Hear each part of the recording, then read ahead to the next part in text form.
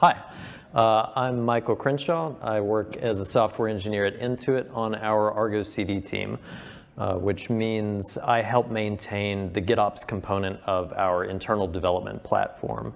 Um, besides supporting basically 45 instances of Argo CD at Intuit, supporting like 20,000 applications and about 200 clusters, uh, I work on the open source side as a maintainer of Argo CD. I'm a, an approver uh, which means that I can review and merge pull requests. Uh, so I help get bug fixes and features in.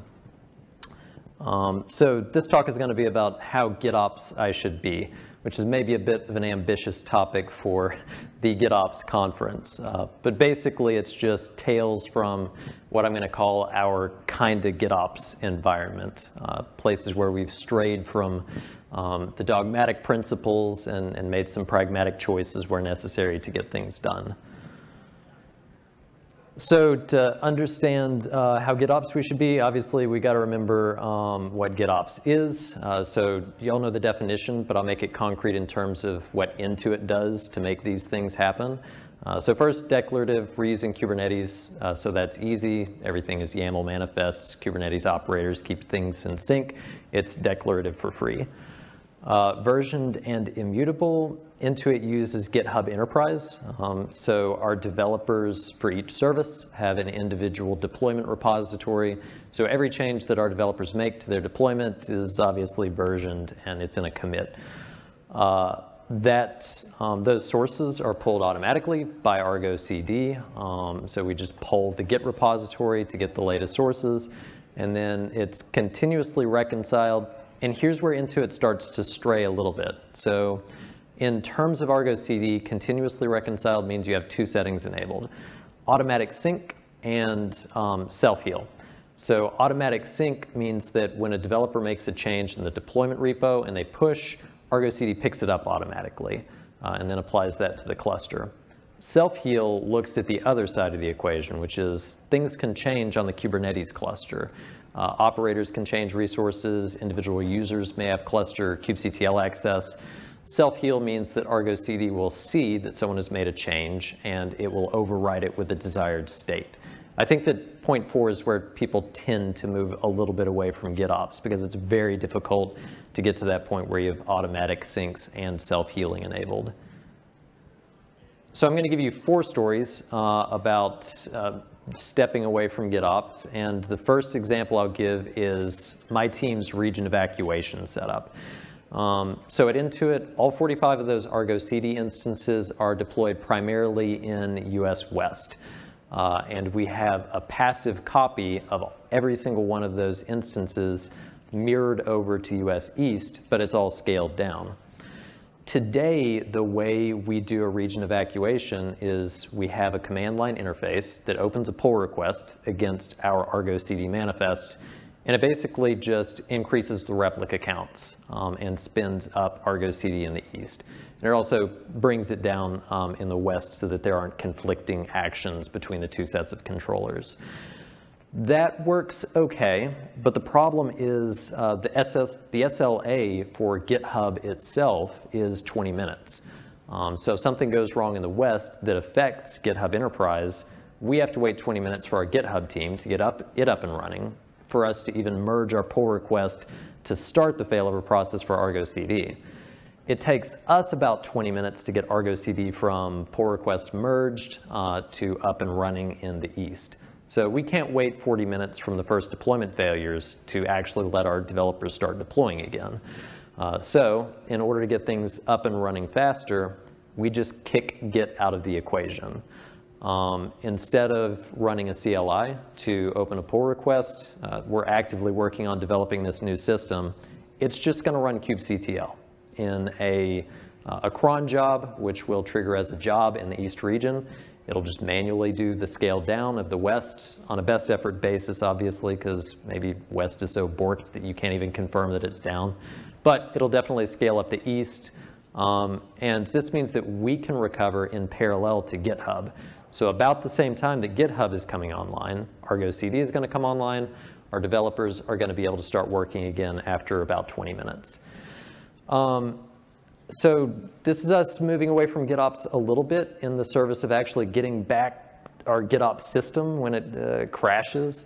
Uh, I think we'll eventually move back to GitOps because our, our GitHub team is working on getting their SLA down to five minutes. I think there's some low-hanging fruit uh, in Argo CD's recovery time. We can get that time down.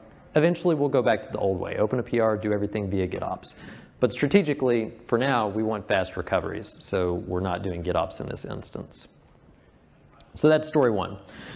Um, story two is a little bit of history of Argo project. Uh, so I think you heard at the keynote, Dan mentioned that Intuit bought Applatix, which was developing Argo projects. Um, sort of about the same time Intuit's, you know, going full tilt, developing its internal development platform. And that platform is very, very heavily Jenkins based and imperative based. Uh, so we had a lot of pipelines already set up. We have a massive uh, Jenkins function uh, library that our developers are used to to do things like pushing jars to Artifactory, um, pushing CodeCov information, uh, and doing quality gates like linting YAML. Our developers want all those tools, and all those tools are part of an imperative system that is a little bit of a deviation from sort of the let's do everything before the PR is merged GitOps system uh, that Argo CD tends to thrive better with. So rather than just rewrite everything in a way that jives more the GitOps uh, Argo CD pull system, we made them coexist. Uh, the last step in these imperative pipelines is the Argo CD CLI, Argo CD app sync. Um, so you're not getting quite that pull system. You're still pushing the information. Okay, Argo CD, I want you to sync. But you're still getting the benefits of all your source of truth is still in Git. You still have this long audit trail, uh, and users are interacting with tools that they're familiar with.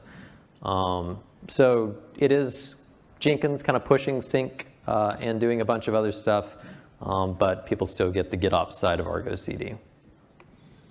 So that's story two. Story three is uh, bootstrapping clusters. And this one's really fun. This isn't one that Intuit is doing. Uh, I saw someone asking in CNCF Slack about a problem they were trying to solve.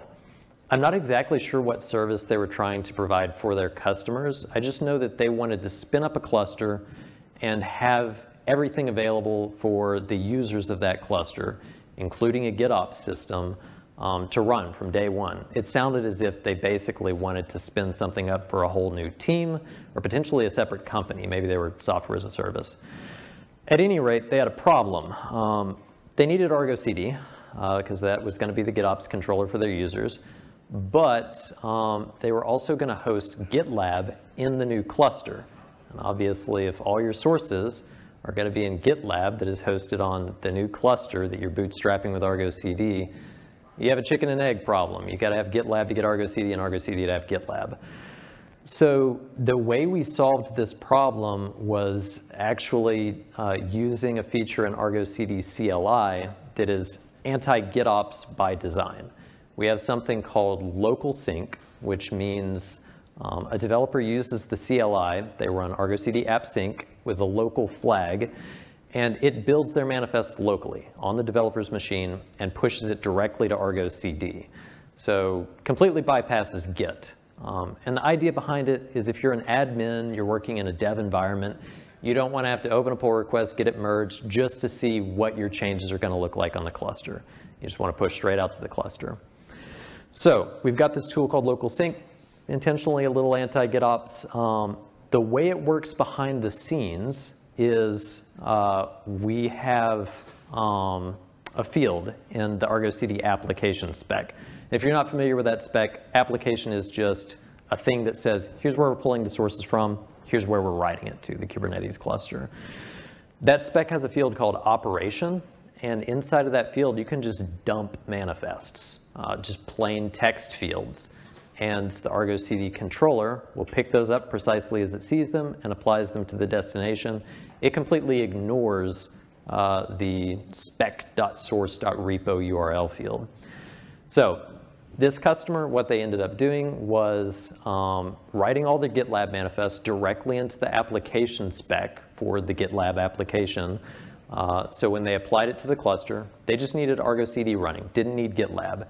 GitLab would then spin up based on these uh, hard-coded manifests. And from that moment on, you're done with the whole lower part of that manifest. You're back to just source, uh, spec.source.repo URL, your internal GitLab instance, and you're off and running with GitOps. So again, um, maybe moving a little bit away from pure 100% GitOps uh, in the interest of getting your GitOps system up and running. I thought that was a pretty sweet use case.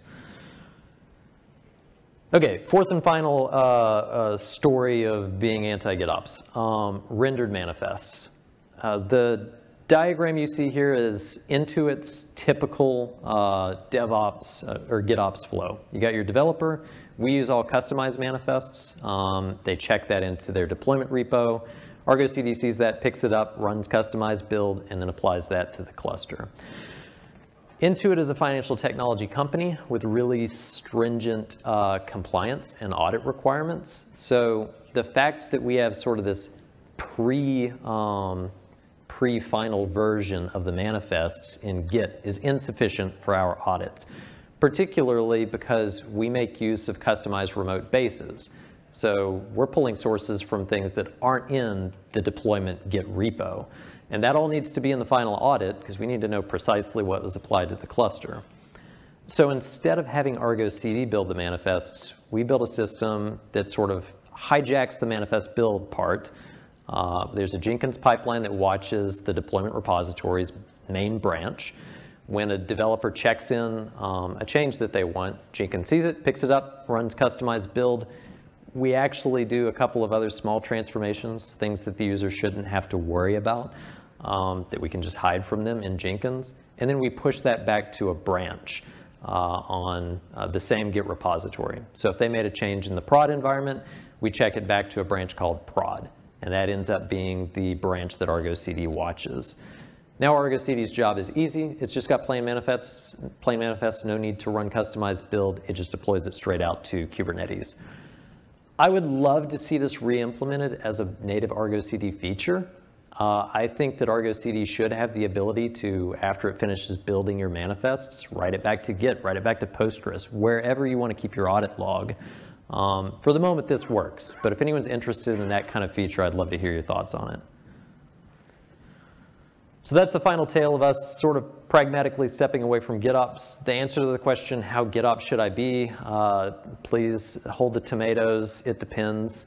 Um, The answer is be strategic, be pragmatic, do what works for your environment. These are just four examples of places I've seen where it's okay to maybe ignore one principle uh, in the interest of actually getting things done.